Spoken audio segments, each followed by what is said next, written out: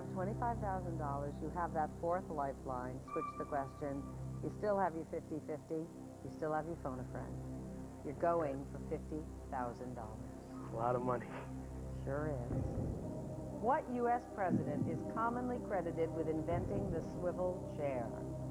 Abraham Lincoln, Thomas Jefferson, Andrew Jackson, James Monroe.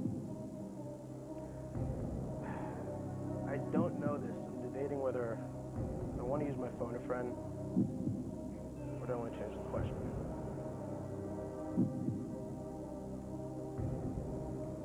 I'll change the question. Okay, we're going to change the question. You have a guess? Uh, I would have guessed Lincoln. Lincoln? All right, let's see what it is. Good thing you didn't guess. It's Really Thomas no idea. Jefferson. No idea. Going to switch out of this question for another one valued, please, at $50,000. Iraq does not share a border with which of these Middle Eastern countries? Syria, Lebanon, Jordan, Saudi Arabia. Does not share a border. Well, I know it definitely shares a border with Syria, definitely shares a border with Jordan, and definitely shares a border with Saudi Arabia. It's Jordan, so that'd be B, Lebanon, final. You reasoned it out. You have $50,000.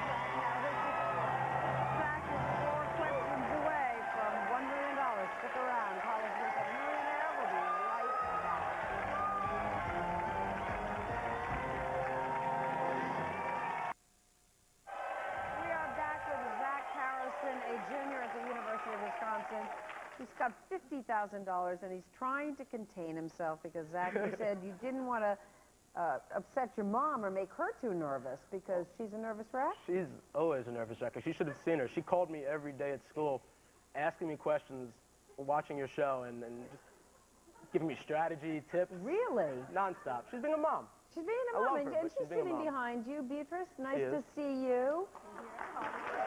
And I know what it's, I know what it's like to be a mom. Are, are you getting excited up there? Oh, I, I- yeah, I'm very excited. I think I'm much more excited here than I would ever be there.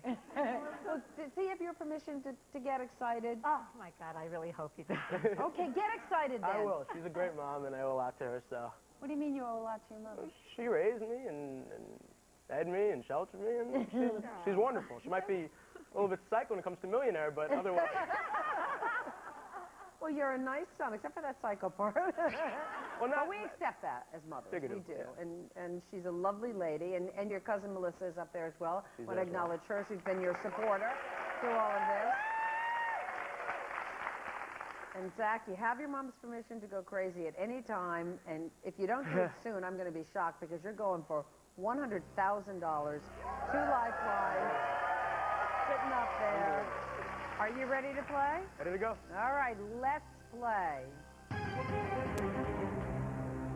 For $100,000. The two official mascots of the 2006 Olympic Winter Games were Neve, a female snowball, and Gliz, a male what?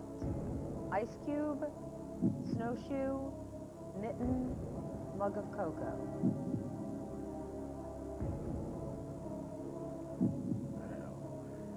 Off the phone a friend. Who would you like to call? I'd like to call my father, Warren. Your father, Warren? Yep. Okay, I understand he's your only phone a friend. He's my only phone a friend. The How only come one. you only picked one? Because well, he's he's a trivia buff and the smartest guy I know. So Well, we're going to get your dad, Warren, on the line right now.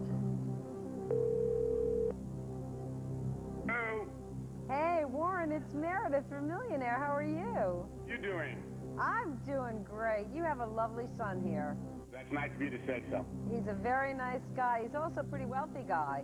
How's he done? He's going for $100,000, Warren. Oh my God.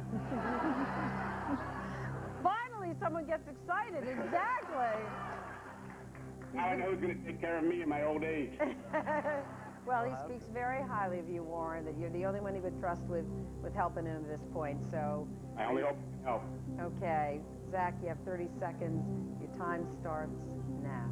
the two official mascots of the 2006 Olympic Winter Games were Nev, a female snowball, and Gliz, G-L-I-Z, a male what? An ice cube, a snowshoe, a midden, or a mug of cocoa? 2006 Olympic Winter Games, the mascots were Nev, a female snowball, and Gliz, G-L-I-Z, a male what? Six seconds. An ice cube, and it's 100% sure. All right, great.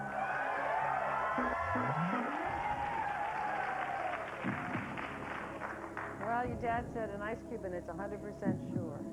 He's, he's wrong, I got a bone to pick, but I, like I said, I trust him more than anyone, so uh, go with A, Ice Cube. Your final answer. Well, I'm starting to cry, so you better get We'll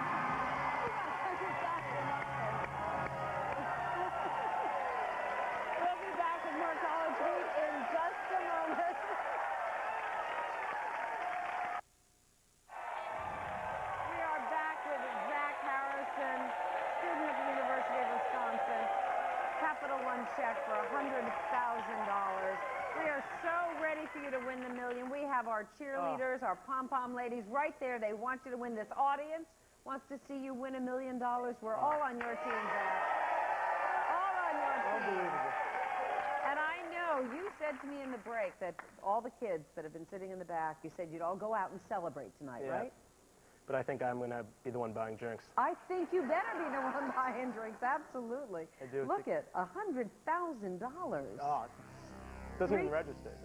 Well, it better start registering because that's your money. You're three questions away from a million dollars. You still have your 50-50. Are you ready to play? Ready to go. I'm ready to go too. Let's play. Back for $250,000. Of the planets in our solar system, where does Earth rank in terms of size? Fourth largest, fifth largest, sixth largest, seventh largest? Well, immediately let's use the 50-50. Okay, Before computer, please through. randomly take away two of the wrong answers. Nine planets. Uranus, Neptune, Jupiter, and Saturn are all definitely bigger. Pluto's definitely smaller. Mercury is definitely smaller. Two. Venus and Mars. I want to say that one of those two are bigger.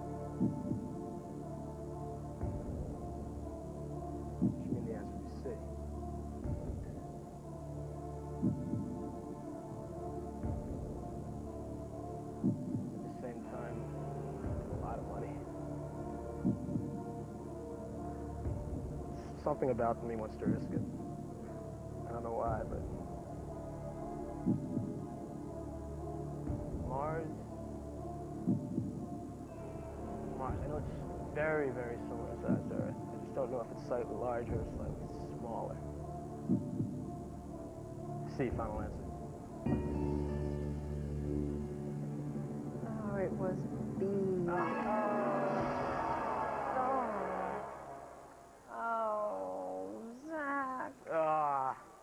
You know what? You have $25,000.